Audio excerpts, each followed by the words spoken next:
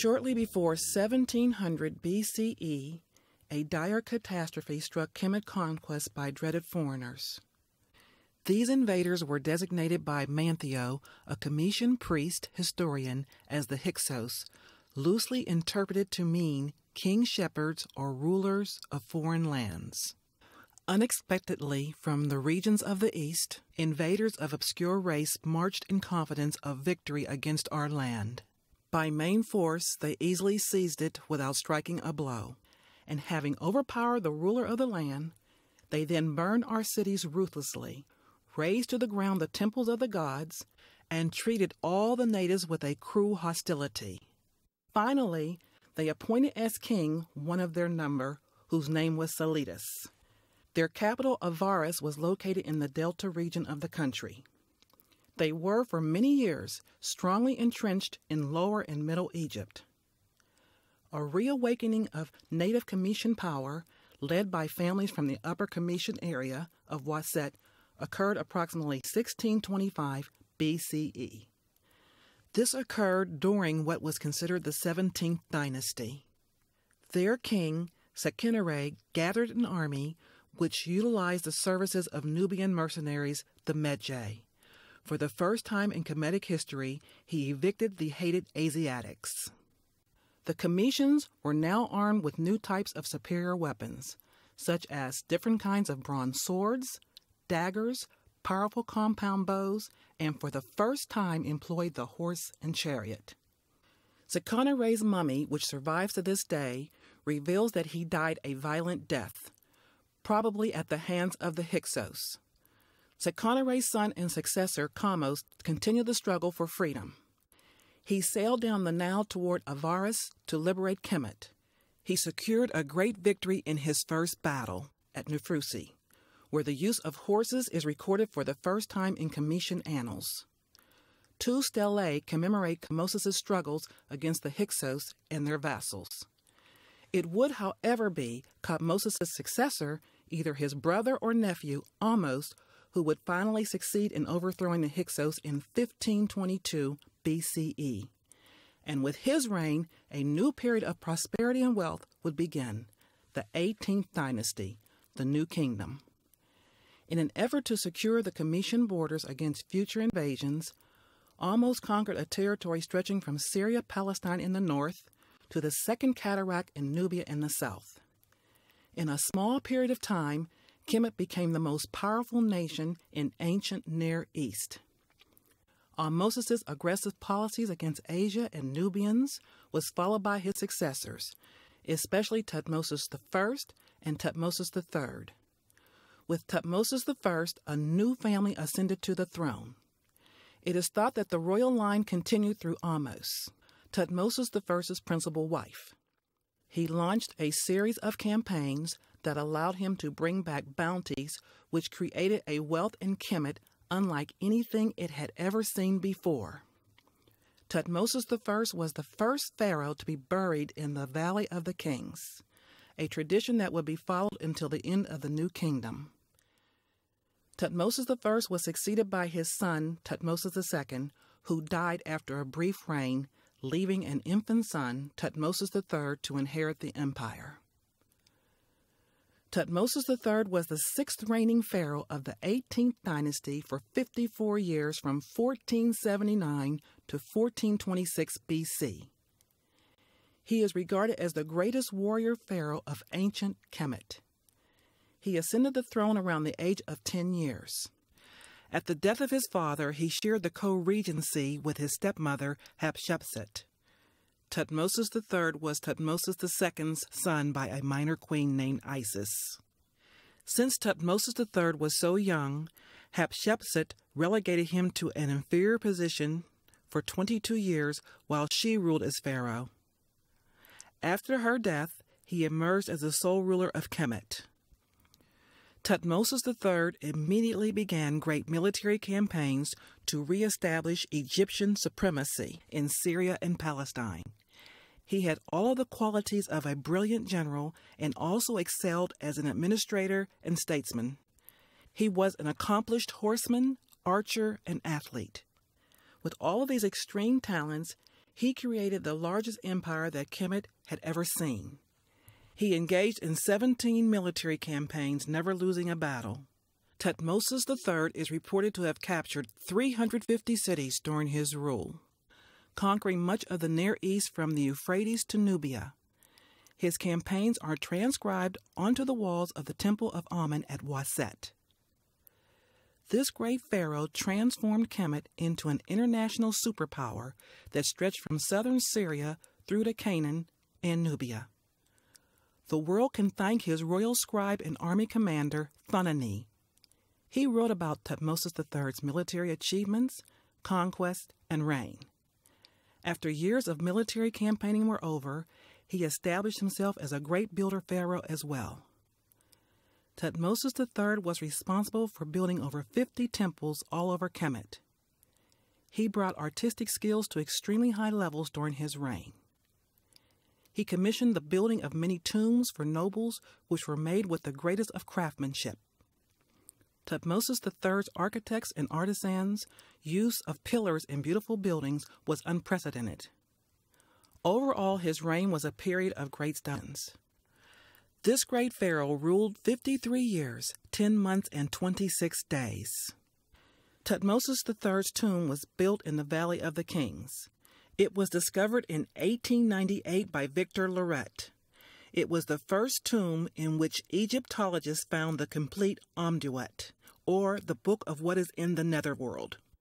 Tutmosis III's impact in propelling Kemet into a world power in ancient history is profound. He was a national hero who was revered many centuries after his time. His name was held in highest esteem long after the last days of ancient Kemetic history were gone. Besides his extraordinary military achievements, he carried out great artistic projects across Kemet. He has more than earned his place in history as the world's first great conqueror.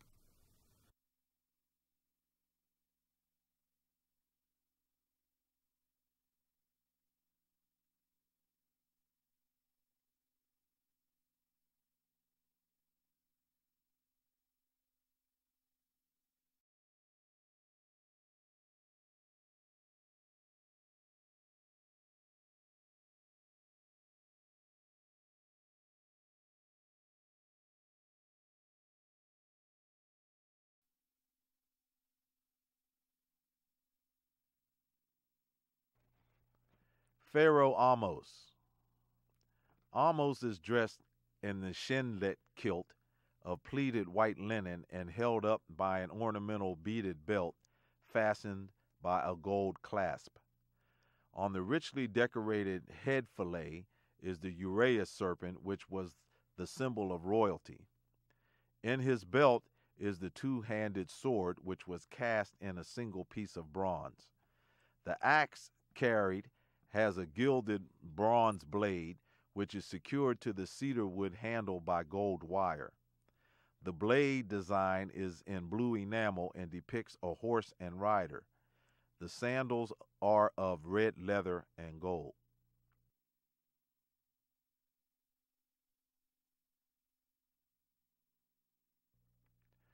Officer. This man wears an upper linen dress and a kilt with a puffed out front piece characteristic of the 18th dynasty. He carries a staff and wears a long wig.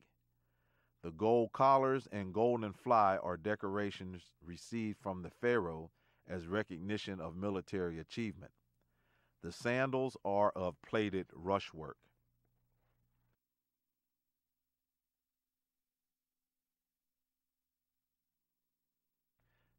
Infantryman. This spearman carries a round top shield of wood, painted and bearing the insignia of the royal house, and is evidently a guardsman. The spearhead is fastened to the shaft by nails and bound. The battle axe, or akkus, was the most characteristic of all New Kingdom weapons, had a slender, whippy haft, and may have been used as a throwing weapon. This was used by infantry and marines to dispatch enemies laid low by missile fire. The blade was of bronze.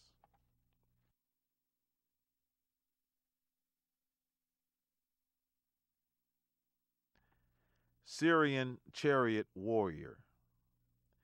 This man wears a helmet of leather strips with a tail of horsehair. Over the characteristic long garment is a cuirass of metal scales sewn to a leather jerkin. A is an alternative style of helmet, and the warrior wears a medallion. B is the rectangular buckler of leather covered wood, embossed with metal nails and with an extra protective piece at the top.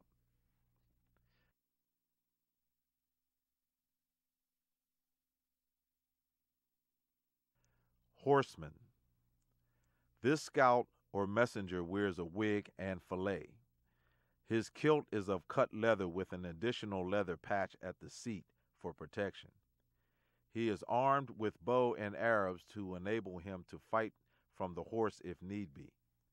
He rides the horse bareback and sits well back.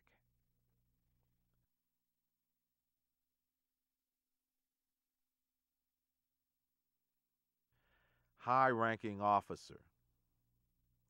This man wears a cuirass of four inch bronze scales sewn onto a leather or linen jerkin. The scales were sandal shaped and had an embossed ridge down the center for strength. This type of cuirass was normally worn only by high ranking officers of the palace guard and royalty. Daggers were now of more slender proportions, and some had ribbed blades and an ivory pommel. The handle was an inlaid grip of wooden plates. He carries his staff of office and wears leather sandals.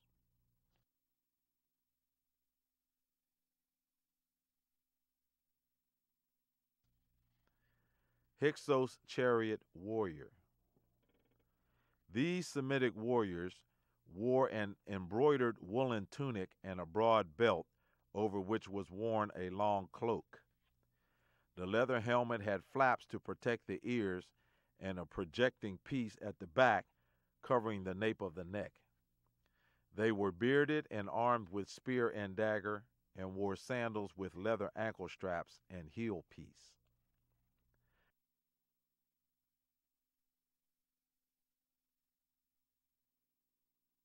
Canaanite spearmen. Canaanites from southern Palestine wore either a kilt type garment from waist to knee or a longer garment secured over one shoulder. This warrior wears a cap of leather or thick material with a frontal band. He wears sandals and carries dagger and spear.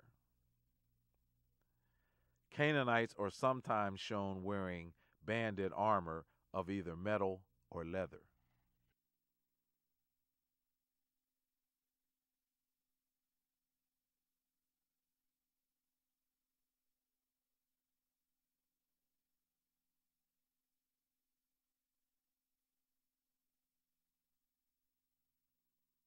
General. This man, a royal prince, commanded an army division. He wears an artificial youth lock of leather and stiffened linen and the long garment of this dynasty.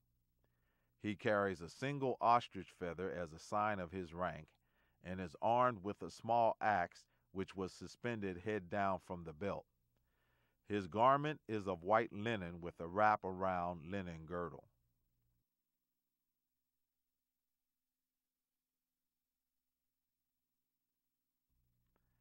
Chariot Warrior. All chariot warriors were armed with a bow, a composite one in this case, but which could have been made of yew. He wears a bronze scale cuirass with 2 inch by 1 inch scales, which had been reduced from the earlier size of 4 inch for flexibility and lightness. The size was decreased, but the number of scales was therefore increased. The horizontal bars of metal plates were secured by bronze pins, and the sleeves went almost halfway to the elbow. The quilted linen helmet without tassels, peculiar to charioteers and spearmen, descended to the shoulders and was fringed with leather. The front was a separate piece. The chariot warrior's badge of office was attached behind him on a broad belt.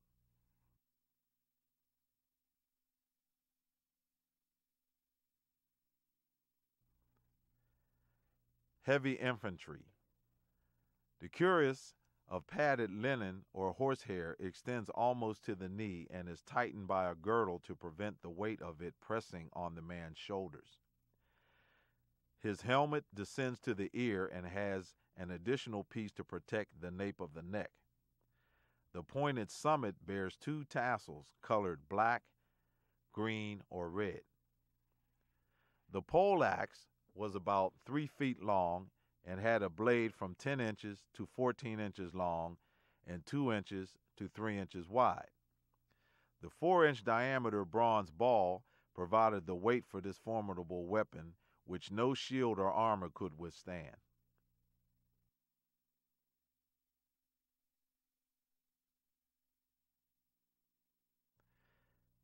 Heavy infantry. Over the linen hauberk is worn a cuirass of thin leather strips held in place by braces pressing over the shoulders and extending to the waist. The padded helmet is a rounder shape and does not cover the ears. These helmets were usually white with red stripes. The triangular front piece of the white linen kilt is of stiffened linen to offer protection below the cuirass. The mace was similar to the pole axe but had no blade. It was made of wood bound with bronze and had an angular piece of metal projecting from the handle to serve as a handguard. In addition, he carries an eye axe, which has been introduced to combat armor and helmet. The round top shield with parallel sides has a round depression near the top to take a bronze boss, particularly indicating the unit's name, and is edged with leather studded with bronze nails.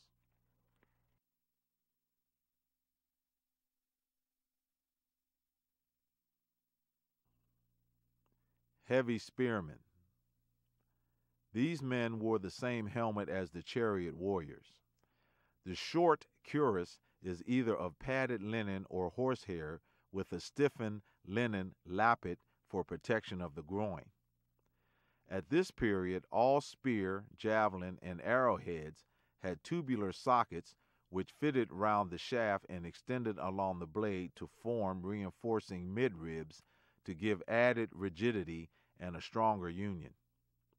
The spear butt, socketed like the head, was 10 inches long and circular in section.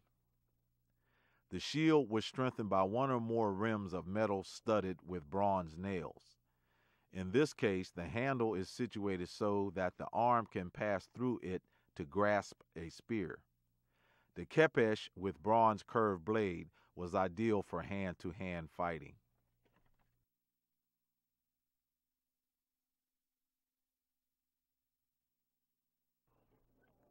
Heavy archer.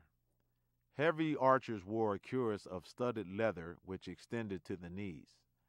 Alternatively, this man could have worn a metal scale cuirass, as he was unable to carry a shield.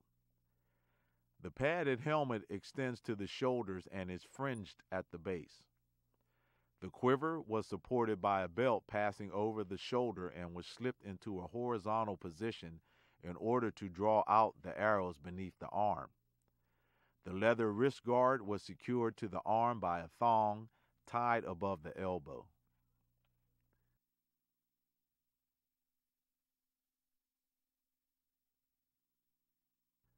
Light archer. This man, protected only by a padded linen helmet with tassels, carries a composite bow which has been introduced by the Hyksos and was a powerful long range weapon up to six feet long. It was constructed of layers of horn glued to front and back of a grooved wooden core, bound with birch bark, and required the toughest sinews for the string. The bow case depicted is a sheath with open ends which was put round the bow when held in the hand on the march. The battle axe shown had a shortened head and a narrower cutting edge.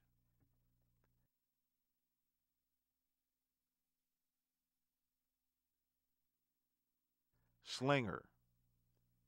He wears no protection with the exception of a quilted helmet with tassels. The sling was of plaited leather thongs, and the stones were carried in a linen or leather bag. The weapon carried in the belt is a simple mace, which was merely a stout stick bound with bronze wire and provided with a handguard.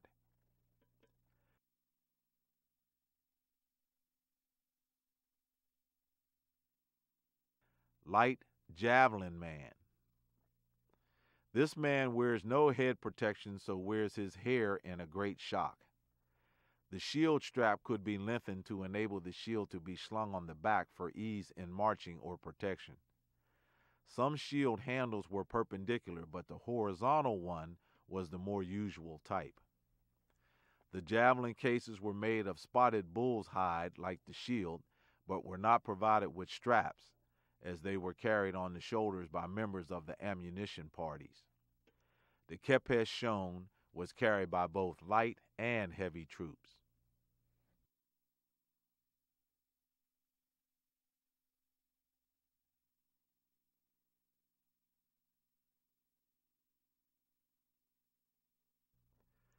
Standard bearer.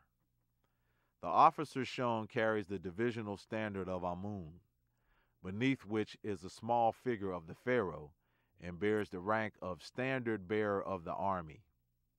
The badge worn round his neck is of two lions and was the emblem of courage. His only protection is a quilted helmet and an eye axe.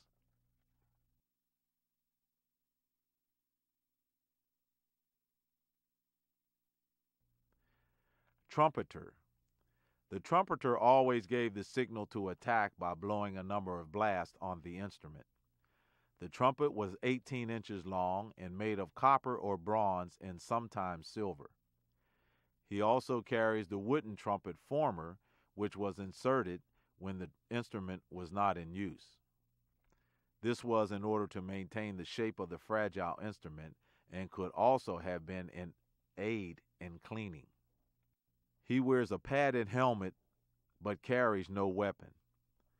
The long drum used on the march was carried by means of the shoulder strap. Drummers were dressed the same as the trumpeter and were usually stationed behind the standard bearers.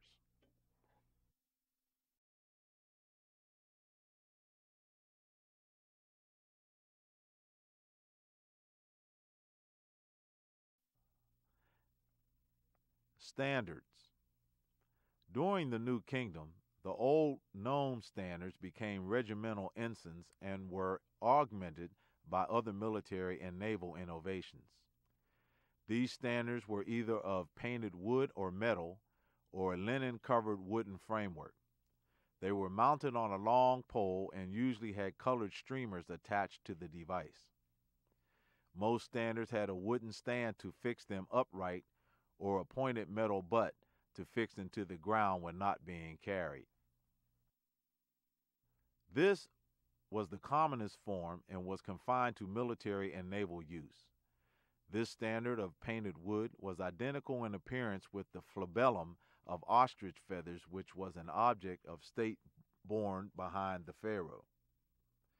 Usually it was painted to imitate colored feathering, but was sometimes of solid red color. The streamers were red or red green. The rectangular standard was usually colored yellow, but was sometimes white or red. The cartouches would bear the royal name, but an alternative device could have been the name of the corps represented. The ostrich feather signified victory, and the ensign was also streamered.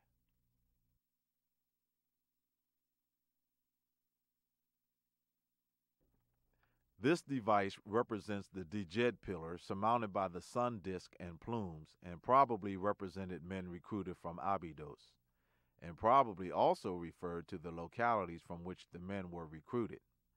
In that case, the former would also signify Abydos, and the latter most certainly Hermonthis.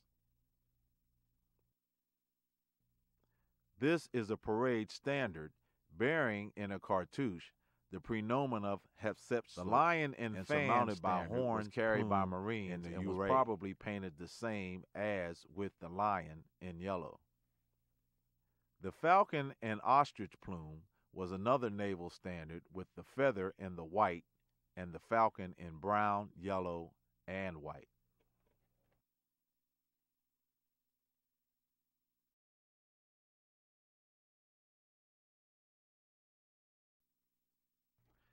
Egyptian chariot.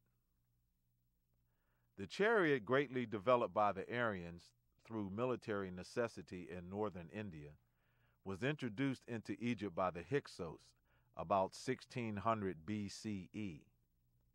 The rounded body rested on the bent wooden pole and was further secured by leather thongs from the top rail.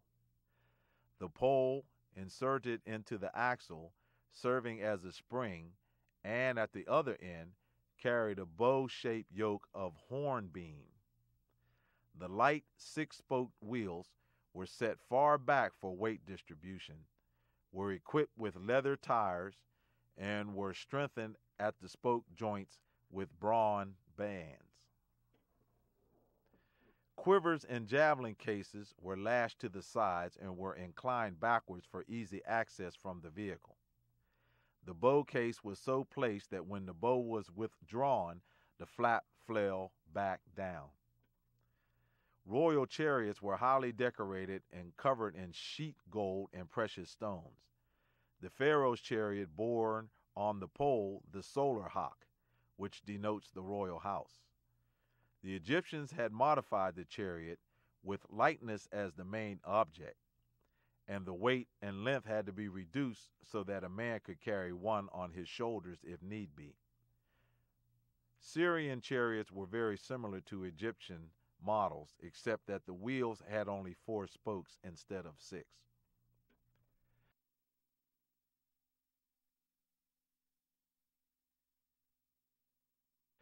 Egyptian chariot horse.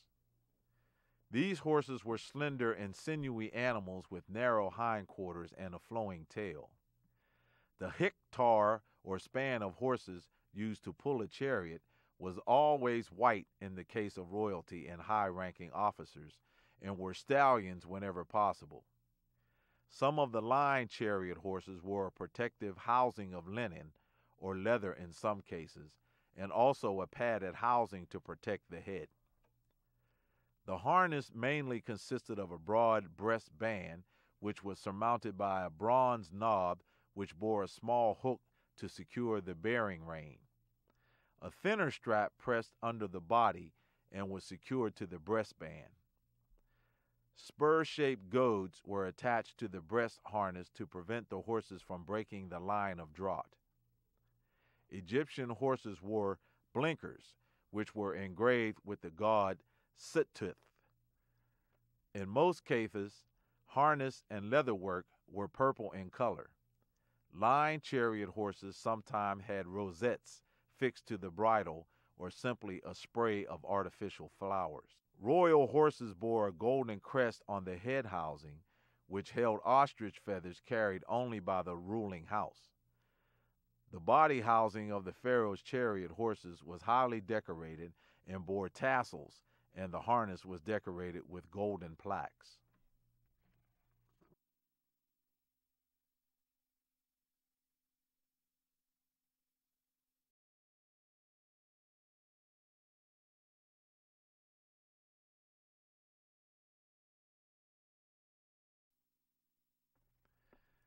Medjay standard bearer.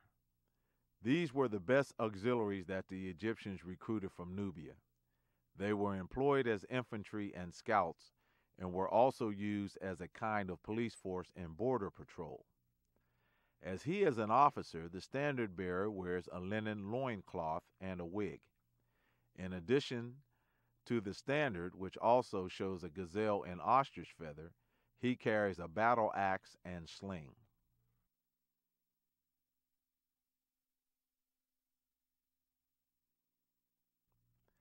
Nubian chief. This man wears a long loincloth held in place by a wide cloth girdle, highly decorated as is the broad band crossing the body and passing over the shoulder.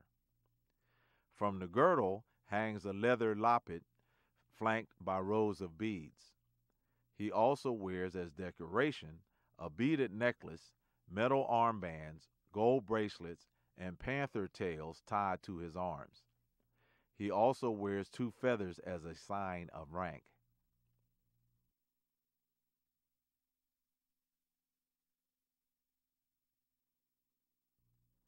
Nubian archer. This man wears a panther skin wrapped around his body with the tail hanging free and held in place by a broad belt. He is armed with the characteristic double curved bow of Nubia, which was a powerful weapon. Nubia provided the Egyptian armies with auxiliary archer units from the earliest times.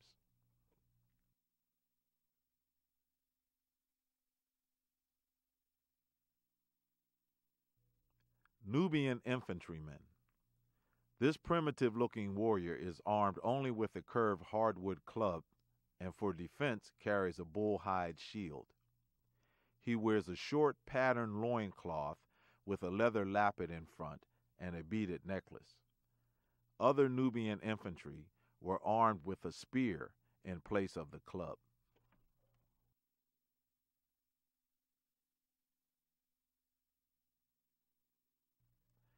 Nubian high ranking officer. This man wears a white leather kilt held in place by a highly ornamented broad leather girdle. Over his shoulder is a leopard skin with the tail hanging down behind him. In his hair are two feathers, and he also wears gold earrings and bracelets. He carries no shield, but is armed with a spear and hardwood club.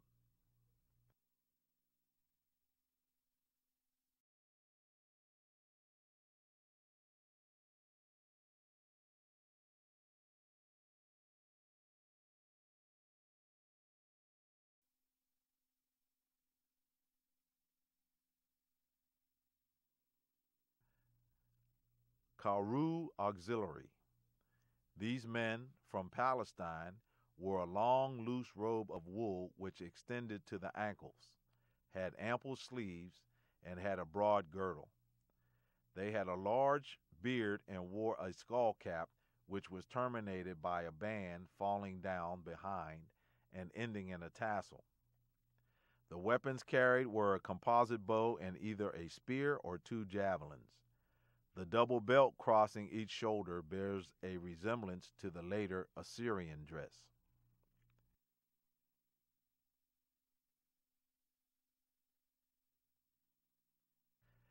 Amorite spearmen.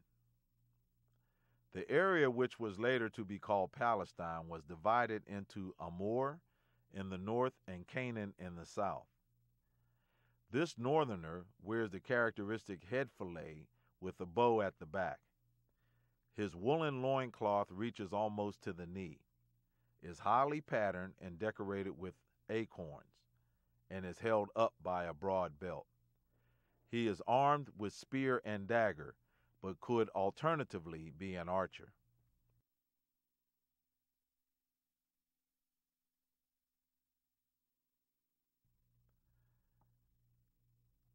Timihu Libyan.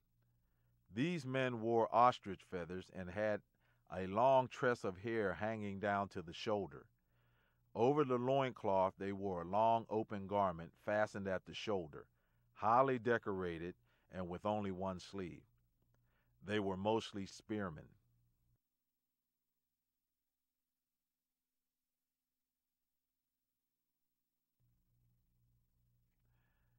Tehenu, Libyan.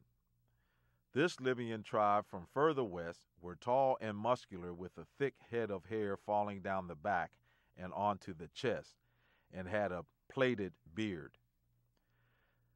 They wore material bands crossing the chest and necklaces and pendants. From the decorated belt hung a phallus sheath of leather, as well as protectors for the hips and rear. An animal tail was suspended from the back of the belt.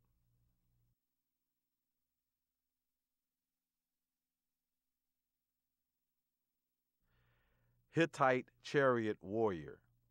The characteristic Hittite tunic was short sleeved and patterned bands at the sleeves and neck.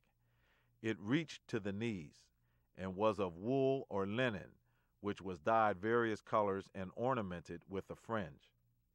In the leather waist belt, studded with metal, was carried a curved dagger with crescent pommel. The high boots with pointed toes were probably of leather and were really snowshoes. The warrior wears a leather helmet with a form of visor, which is curved up at the nape of the neck. He has the Hittite pigtail and square cut beard. In addition to the bows and arrows, a spearman was carried in the chariot for the close fighting. Most chariotmen, however, were armed with spears only.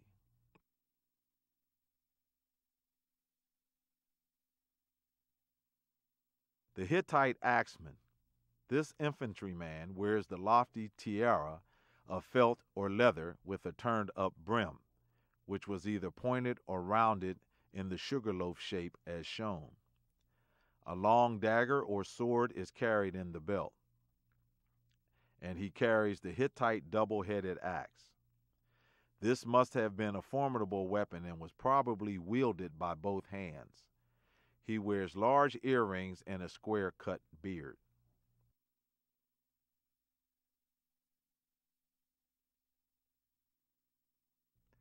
Hittite guardsman.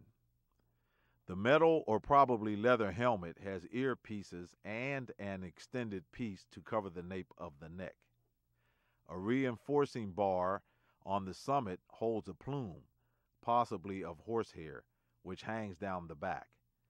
This man wears no tunic, but a highly decorated kilt held by a broad studded belt.